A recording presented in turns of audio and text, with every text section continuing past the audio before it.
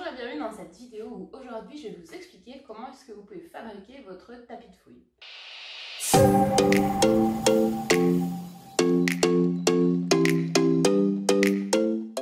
Alors si vous ne savez pas ce que c'est qu'un tapis de fouille ni à quoi ça sert, je vous encourage vraiment à regarder la dernière vidéo que j'ai postée, je vais vous mettre le lien juste ici, dans laquelle je donne plein d'exercices pour occuper son chien, dont l'exercice du tapis de fouille. Ce qu'on va voir ensemble aujourd'hui, c'est comment est-ce qu'on fait pour en fabriquer un et comment est-ce qu'on fait si jamais on n'a pas tout le matériel qu'il faut pour quand même avoir le même genre de résultat. Je vais également vous expliquer comment vous pouvez apprendre le tapis de fouille à votre chien. Si jamais il ne le connaît pas, comment est-ce que vous allez pouvoir lui introduire ce tapis de fouille pour la première fois? Si vous ne l'avez pas encore fait, vous pouvez télécharger le guide que je vous ai préparé, où dedans je vous donne plein d'activités pour votre chien dans les périodes où il est blessé, où il ne peut pas sortir, où il est confiné à l'intérieur. Le tapis de fouille fait partie des activités, mais il y en a plein d'autres. Donc le lien est dans la description. C'est le tout premier que vous allez voir. Il vous suffit de cliquer dessus pour le télécharger gratuitement. Alors, un tapis de fouille, qu'est-ce que c'est? Eh bien, on a une base très simple qui est un paillasson avec des trous et on a des bandes polaires qui sont nouées dans le paillasson pour faire un tapis avec donc des bandes dans lesquelles le chien va devoir chercher des friandises. Pour faire un tapis de fouille, vous allez donc avoir besoin d'une base. Donc ici, on a par exemple un paillasson classique qui a été découpé en carré, dans lequel vous voyez on a des trous, donc on pourrait très bien servir de celui-là pour pouvoir faire un tapis de fouille. Vous pouvez aussi utiliser du grillage dans ce style-là, donc là simplement il faudrait couper les petits bords sur le côté pour pas que le chien se pique avec. Euh, et on peut aussi tout à fait nouer la polaire dedans. Au niveau de la taille, de ce que vous pouvez utiliser pour faire la base de votre tapis de fouille, je vous conseille de ne pas le faire trop grand. Des fois, je vois des gens qui en font des immenses et je me demande toujours comment est-ce qu'ils font pour les laver. Parce qu'il va falloir penser que si dedans vous mettez des friandises et si votre chien il bave un petit peu sur le tapis de fouille, très vite il va être sale et très vite il va avoir besoin d'être nettoyé pour pas sentir trop mauvais. Donc moi je préfère avoir une taille assez petite que je peux mettre facilement dans la machine plutôt que d'avoir quelque chose de trop trop gros euh, qui serait aussi très encombrant à transporter parce que moi je me mets les emmener partout avec moi. Donc une fois que vous avez choisi votre base, il va falloir maintenant que vous choisissiez votre polaire, votre tissu que vous allez pouvoir utiliser. Donc soit vous avez chez vous des vieilles couvertures que vous n'utilisez plus ou des vieilles habits que vous n'utilisez plus, et vous pouvez découper en bandes. Ou sinon, vous pouvez aussi acheter de la polaire en magasin. Là, ça, c'est des choses que je trouvais euh, vraiment à petit prix dans un magasin comme euh, Action, je crois, ou quelque chose comme ça. Euh, donc voilà, c'est vraiment pas cher du tout au mètre, ça vaut le coup. si jamais vous avez absolument aucune polaire chez vous, aucun tissu chez vous, vous pouvez utiliser. Une fois que vous avez votre tissu, vous allez pouvoir couper des bandes. Alors ça, c'est la partie la plus longue, la découpe du tissu. Et on va couper des bandes d'environ 20 cm de long et 5 cm de large. A vous de vous faire plaisir au niveau des couleurs, de faire des associations de couleurs, comme vous pouvez le voir dans ce que j'ai ici. On a euh, des couleurs qui flashent, on a des couleurs assorties. Voilà, faites-vous plaisir avec ce que vous voulez. Vous pouvez aussi avoir un petit tapis de fouille très moche avec des couleurs qui vont pas du tout ensemble. Je pense que votre chien, ça ne le dérangera pas vraiment. Une fois que vous avez vos bandes et une fois que vous avez votre base, vous allez pouvoir les nouer et donc venir créer votre tapis de fouille. Donc ce qu'on peut faire, c'est prendre notre base et en fonction de la densité qu'on va vouloir sur le tapis de fouille, on ne fera pas euh, les mêmes nœuds. Donc on peut essayer de faire un nœud sur chacun des traits qui vont être verticaux ici. On peut aussi en faire sur les horizontaux et on peut aussi en faire en diagonale. Donc en fonction du nombre de polaires que vous allez mettre sur la base, eh vous aurez un tapis de fouille plus ou moins dense. Également, la qualité de la polaire va jouer. Si votre polaire est très fine, euh, comme celle-ci, on voit que la polaire est vraiment très fine, eh bien, il a fallu en mettre plus pour obtenir l'effet vraiment dense. Ici, on est sur des polaires beaucoup plus épaisses et on a eu moins besoin de mettre de morceaux pour que le tapis de fouille soit vraiment très dense, qu'on puisse bien cacher les friandises dedans. Ensuite, bah, ça va être vraiment un jeu de patience, euh, ça prend un petit peu de temps de tout découper, de nouer toutes les polaires, c'est pour ça aussi faites-le pas trop grand, sinon ça va vous prendre vraiment beaucoup de temps. Mais c'est une super activité à faire le soir euh, devant le film ou quand vous vous ennuyez. Vous pouvez aussi la faire faire aux enfants, ils aiment beaucoup faire ce genre de choses.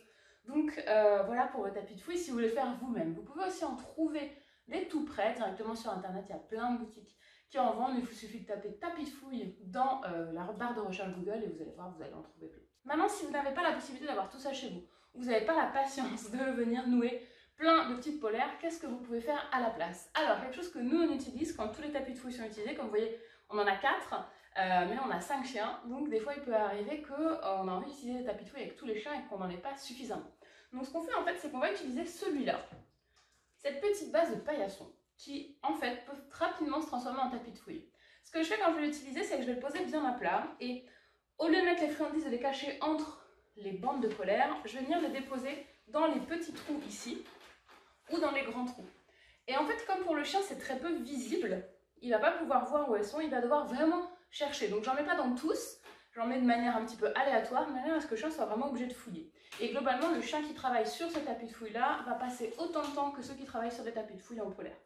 Donc si vous n'avez pas de tapis de fouille à polaire, ça c'est une bonne alternative pour que le chien cherche quand même, euh, passe du temps à fouiller, euh, au même titre que si vous aviez eu un vrai tapis de fouille avec la polaire. Vous avez également d'autres alternatives qui sont possibles. Vous pouvez, si vous avez du gazon synthétique assez haut, vous pouvez utiliser un carré de gazon synthétique et venir mettre les friandises entre les brins d'herbe.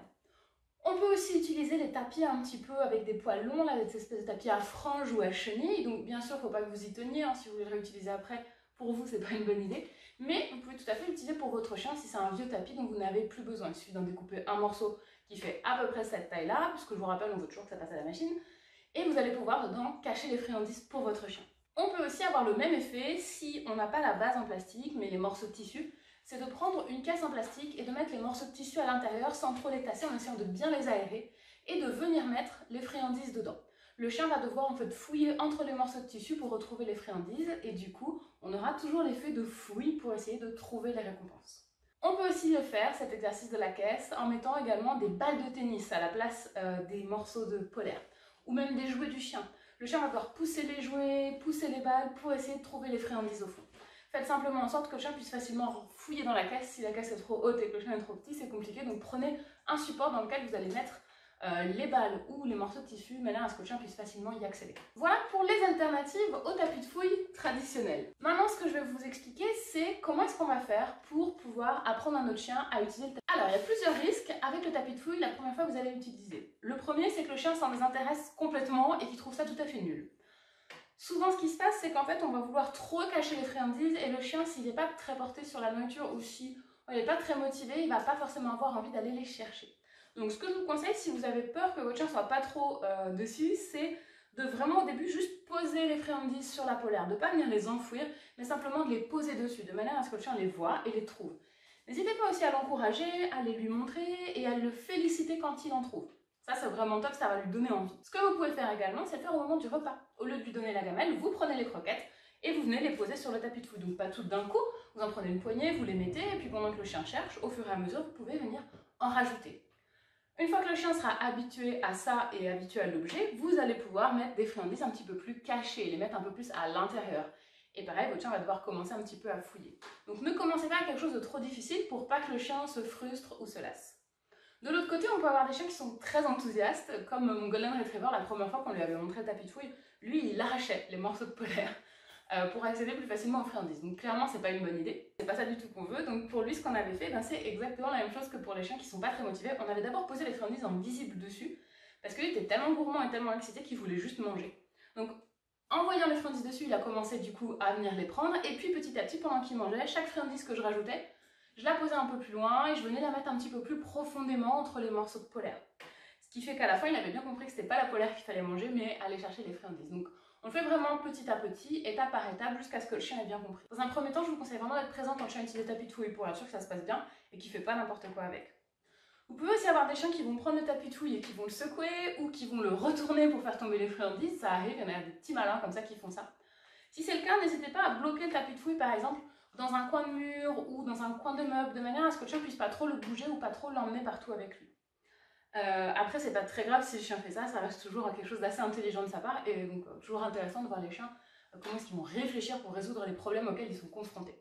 Si vous avez plusieurs chiens, vous pouvez soit utiliser plusieurs tapis de fouille de manière à ce que chaque chien ait le sien, sinon vous pouvez aussi séparer vos chiens, donner le tapis de fouille à un pendant que l'autre attend, puis intervertir. ça peut être compliqué pour les chiens qui font de la protection de ressources, donc ne laissez pas trop les tapis de fouille non plus à proximité. Laissez les chiens chacun dans leur espace, qu'ils profitent vraiment et qu'ils soient tranquilles quand ils vont chercher leur friandise. Le gros avantage du tapis de fouille, c'est qu'en fait, vous pouvez l'emmener partout avec vous. Et une fois que le chien a compris l'exercice, c'est un super outil pour nous pour l'emmener dans des endroits où on a besoin que le chien se calme, s'occupe, fasse autre chose. Alors, qu'est-ce que vous pouvez utiliser comme friandise à mettre dans le tapis de fouille?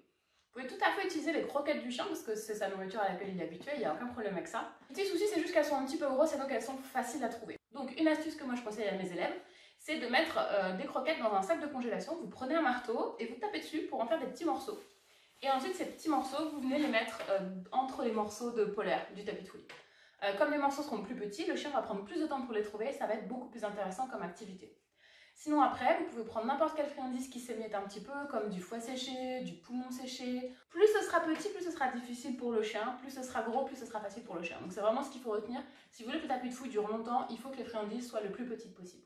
Également, si votre chien n'est pas très motivé par l'exercice, essayez de prendre des friandises qui sont appétantes, qui sentent fort et qui vont du coup le motiver. Typiquement, le foie, c'est un grand classique en éducation canine, c'est quelque chose que les chiens adorent. Est-ce que vous avez des questions sur le tapis de fouille? Si c'est le cas, n'hésitez pas à me les poser dans les commentaires juste en dessous de la vidéo. Également, je vous rappelle que pendant toute la durée du défi que je me suis lancée de vous poster une vidéo par jour pour vous parler d'éducation canine, vous pouvez participer à un concours qui va vous permettre de gagner une séance de coaching avec moi, un kit de friandises de chez notre partenaire, un kit d'éducation canine des clics des chiens avec plein de surprises pour vous et pour votre chien. D'ailleurs, j'ai une idée. Si ça vous intéresse que je rajoute le tapis de fouille dans le kit d'éducation canine des clics et des chiens qui est à gagner, dites-le moi dans les commentaires et je pourrais réfléchir à vous en ajouter un pour le regagnant du concours. Je vous rappelle que chaque commentaire posté sous chacune des 30 vidéos du concours compte comme une participation. Donc si vous commentez 30 vidéos, vous avez 30 fois plus de chances de gagner. C'était Pauline de Barbade de Décliquer des chiens. Je vous dis à demain pour parler chiens.